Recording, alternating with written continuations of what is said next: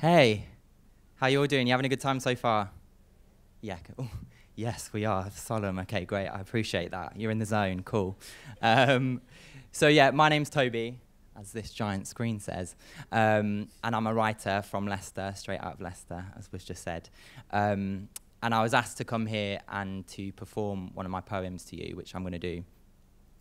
And when we were talking ages ago about me coming here, and I was asked to come here, and I was thinking about what poem I would perform, um, I was thinking about what the themes of today were, um, and what the themes of this event are, talking about bravery and courage and pride, and what those things mean, what they really mean, and what they mean to me, and what they've meant in my life.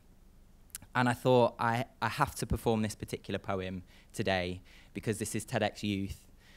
You're all very youthful. Uh, I like to think I'm youthful, but I'm less youthful now than I used to be, obviously, as everyone is. Uh, and uh, that made no sense. And um, yeah, I realised that I left school. I finished my GCSEs 10 years ago, which is terrifying. Um, and when I was at school, I found it very difficult to find my courage and to find who I was and accept who I was and be proud of who I was.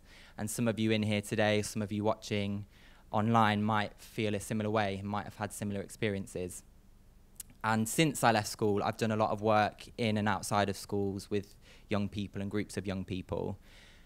And I found that sadly, the problems that I faced when I was at school and the issues that were going on when I was at school and the stigma that was there when I was at school is still very much there now and is still very much a problem for young people today. And it's something that not enough people, not enough adults are talking about and doing something about. And so I wanted to come here today and, and talk about it and perform this poem for you and share my experience with you. So that's what I'm going to do. Um, this poem is called A Lion's Pride. And basically, I went to this all boys state school in Leicester for five years when I was growing up, right? It was a sports college as well, it's pretty brutal. Uh, and I thrived. No, I just didn't do any sports, uh, so it's great for me. And um, yeah, we, the, the logo on our blazers was this golden lion. And in our first ever assembly, our head teacher told us that we would grow from spotty little cubs into full maned men ready to seize the world at 16, ready to take a mate from the girls' school next door, as nature had intended. I know of only one who admitted to not wanting that, and he was reduced to carcass.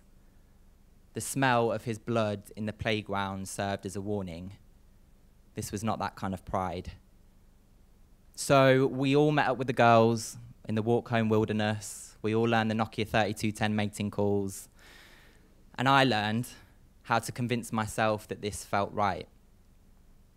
But it's kind of like telling yourself that you're a lion when your ribs stripe your insides tiger. When you have pink flamingo lining your lungs, each breath in is a chestful of shame. A hearty reminder of how disgusting you are. Each breath out, a red flag that you are always wiping from your lips the smell of mealtime that you're constantly washing from your skin, and some nights, the thought of what kind of animal you might be is too much to tame. And then school the next morning, and it's happening again. The teachers are defending the weak from the teeth of their hunters, saying, Why'd you keep bothering him? Do you fancy him? Are you gay? Met by a classroom of hyena cackle, we were never more than the butt of an accepted joke never acknowledged by chalkboards, textbook, not once in five years were the punchlines embroidered into my chest explained to me. How we feed the beast, how we breed intolerance and act surprised at its ferocity, how we teach the word tolerance like diversity was something to be put up with, like it were the limp dog in the pack, the lame bitch, how she is first to be turned on when the heat is up. When my cousin told her teachers that the jungle fight had become too hot, that she could no longer outrun the howls of Dyke that chased her down corridors, they told her, Well, you shouldn't have cut your hair so short. How we feed the beast.